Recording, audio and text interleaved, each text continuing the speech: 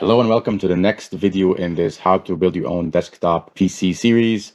Today we're going to go over the motherboard and everything that the motherboard does and all the roles of a motherboard in a desktop PC. In my case, I've picked an Asus TUF Gaming Z790 Plus Wi-Fi motherboard. I've used Asus motherboards quite a bit uh, in my previous uh, desktop PC build. I'm very, very happy with their products. They've been very reliable. I've never had one fail and fantastic support. That's why I'm going with this. So let's go ahead and open this thing up and I'll go through all the bits and pieces of what a motherboard does.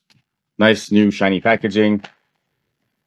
This one has built-in Wi-Fi, which is an upgrade for me because my current PC, which is six years old, doesn't have that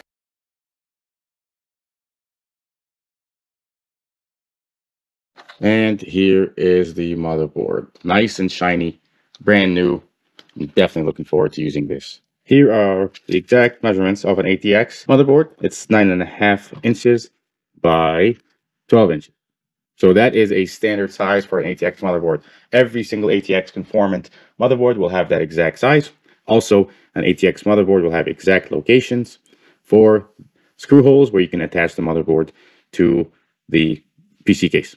ATX is the most common form factor for motherboards. So if you're going to be picking your own uh, doing a desktop PC build project, highly recommend that you get ATX. As I mentioned in my previous videos, ATX will have the most variety in your motherboard selection as well as cases. So no reason to go with anything else unless you really, really want to get fancy. But ATX, pretty standard, so highly recommend it. So now let's dig into all the sections and connectors that you have. First of all, in a standard ATX motherboard, the external connectors will be on the top left half. If you line it up like this, this is the CPU socket. This is where you're going to be attaching your central processing unit. The socket is with a specific size and every motherboard only supports a single CPU socket. There's a multiple CPU sockets depending on what processor you buy. In my case, I am buying a new 14th generation Intel i7 and therefore it has a socket type of LGA 1700. What a socket type really means is there's a specific number of connectors and a specific size that a motherboard will support. Here's a processor that I will be installing here. This is a temporary processor just to update the BIOS. More on that in a separate video. But as you can see, the size of the processor and the number of connectors on it right here matches exactly what the motherboard supports. So Depending on what processor you use, you select a motherboard that has the same socket type such that it can support your processor once I install it. So that's the main key piece of a motherboard is what processor type it supports. All ATX motherboards will have a common layout that pretty much looks like this. CPU socket in the center, and then everything else lines up the way you see it here. The next very important section is your external connectors. And your external connectors will usually be on the top left side as you see here. So this specific motherboard, it'll support Intel processors. It's an Intel motherboard. So Intel processors can support a graphics set of graphics interfaces. So you'll see here what's called a display port as well as an HDMI port. These are ports that you can use to connect your monitors to. More of that later. You'll have a bunch of USB ports, different generations. You'll have a USB 2.0 as well as USB 3.0, different form, different connectors. You'll, you'll see a type C as well as a type A. You'll have Ethernet network. You'll have your Wi-Fi antenna, and then you'll have input and output audio jacks. Back to the standard layout, your external connectors will be top left part of the motherboard to the left of your CPU socket.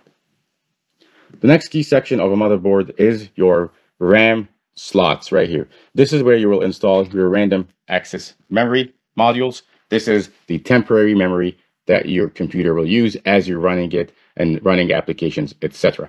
That memory does not stay, RAM, or random access memory, does not persist across multiple power cycles. If you turn off your computer and turn it back on, everything that was saved in these RAM modules will get erased. So RAM modules will go in here.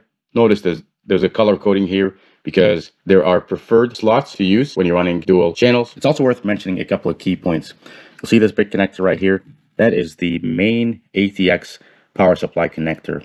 In a previous video, my overview for the power supply, I noted that the power supply has a big 24 volt connector that goes in here. That provides the main power to the motherboard. There's also a couple of others power connectors right here. There's one right there, one right there. These connectors, these bulky pins are for power. So if you see those, that's we're going to be connecting that to provide power to the motherboard, which in turn also provides power to the CPU. For reference, the CPU I plan to use, which is a 14th gen Intel i7, it uses around upwards around 150 watts. So quite a bit of power, which is expected, normal. So these power connectors provide the power necessary for the CPU as well as all the other devices that are powered and consume power through these connectors, which are all attached to this motherboard. A couple other things I'd like to note. This chip right here, that is the Intel Z790 chip, which enables the processor to interface with the RAM as well as other peripherals and components on this. So there's nothing we're going to be doing with this. This is just part of the motherboard, a key and main part of the motherboard. Just for reference, that's what this is. Next, we're going to talk about these slots right here. These are called PCIe slots. These slots are used for peripheral connectors, things like a graphics processing unit, a GPU, which is what you would need if you want to play games or use high powered graphics. That's where these connectors come in. You can also plug in other devices such as a network interface card, um, various things that interface or communicate to the motherboard via what's called a peripheral component interconnect PCI. And then the latest version of it is the Express version. So PCIe is peripheral component interconnect Express.